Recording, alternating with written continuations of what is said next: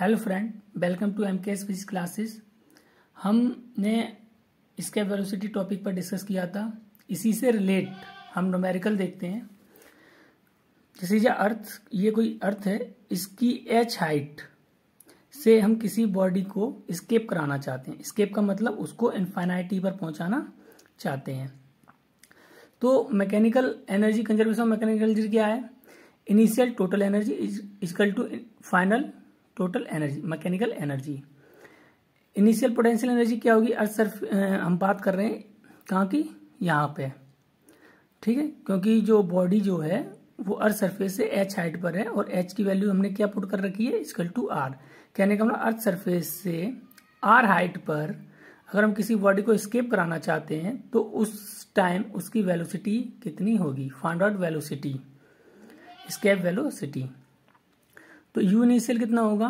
Minus G M m G M m upon centre to centre distance तो हमारी ये कितनी आर ये कितनी आर कितना हो गया? टू आर प्लस यहाँ पर इसकी कानेटिक एनर्जी कितनी होगी? हाफ़ एम वी ई का स्क्वायर इजकल टू मैंने अभी क्या बताया था प्रीवियस टॉपिक में, जो इनफाइनाइट पर पोटेंशियल एनर्जी और काइनेटिक एनर्जी को क्या एज्यूम करते हैं हम? ज़ीरो तो ज़ीरो प्लस ज़ीरो तो यहाँ से एम से डिवाइड कर दीजिए तो एम से एम कैंसिल हो जाएगा।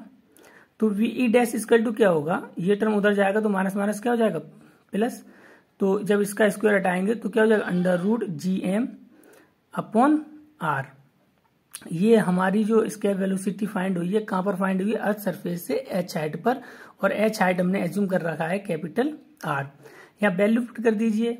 V dash equal to under root two G M upon two R, two और टू से मल्टीप्लाई कर लिया क्योंकि हमें पता है कि अर्थ सरफेस पर जो इसके वेलोसिटी का फॉर्मूला होता है वो कितना होता है? Two G M upon R. तो ये चीज़ अंडर रूट में जो ये चीज़ चीज़ है, ये आपकी बन गई वीई और बचा अपॉन में अंडर टू और अर्थ सरफेस पर वीई की वैल्यू क्या होती है? Eleven point two upon root two root two से रूट टू ऊपर नीचे मल्टीप्लाई करेंगे तो ये रूट टू रूट टू कितना हो जाएगा? टू और टू से इसे कैंसिल करेंगे, कितना आएगा हमारा? Five point five into root two अब हम रूट टू की वैल्यू पुट कर देंगे यहाँ पर 5.5 सॉरी 5.6 आएगा। यहाँ पर कैंसिल आउट करेंगे तो 11.2 है। 5.6 पॉइंट सिक्स इंटू वन जब इसका मल्टीप्लाई करेंगे तो हमारा ये अप्रोक्सीमेट आ जाएगा 7.9 किलोमीटर पर सेकेंड तो हमारा ऑप्शन करेक्ट होगा सी नेक्स्ट क्वेश्चन देखते हैं। यहाँ पर हमारा एम वन मास है, यहाँ एम टू मास है। एम वन मान से आर वन डिस्टेंस पर और एम टू मान से आर टू डिस्टेंस पर एन ओदर मार स्मॉल एम है, जिसकी हमें इस पॉइंट पर, इस जगह पर इसके वेलोसिटी फाइंड करनी है। तो इसका वेलोसिटी फाइंड करेंगे तो क्या होगा? इस और इस के बीच में क्या होगा? पोटेंशियल एनर्जी होगी। इस और इसके बीच में क्या होगी? पोटेंशियल एनर्जी होगी। तो कंजर्वेशन ऑफ़ मैकेनिकल एनर्जी हम फॉर्म करेंगे तो क्या होगा? Total initial mechanical energy equal to total final mechanical energy तो क्या होगा? U initial plus K initial equal to U final plus K final U initial मतलब इन दोनों के बीच की पोटेंशियल एनर्जी क्या हो जाएगी? Minus G M one m upon R one plus bracket में इसके लिए क्या होगी? Minus G M two m upon R two ये पोटेंशियल एनर्जी होगी इनिशियल अब यहाँ पर इनिशियल काइनेटिक एनर्जी क्या होगी? इसको हमने कितनी वेलोसिटी गिवन की है? वीई रिक्वायर्ड की है वीई तो हाफ़ एम वी का square equal to zero zero क्यों लिया?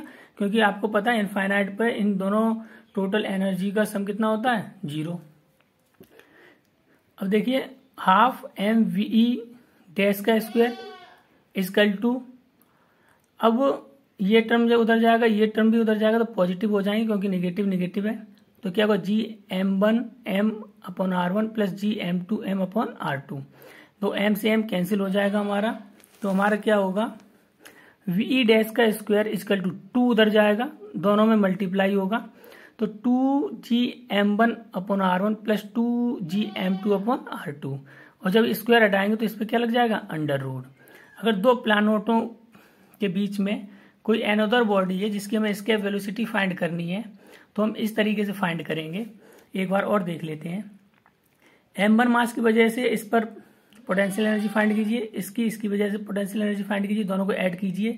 प्लस काइनेटिक एनर्जी क्या होगी? हाफ़ एम बी ई का square equal to final potential energy zero in final kinetic energy zero फिर इसको सॉल्व कर लेंगे तो हमारी इसके जो वेलोसिटी होगी वो कितनी हो जाएगी? V E dash equal to under two G M one upon R one plus two G M two upon R two thank you friend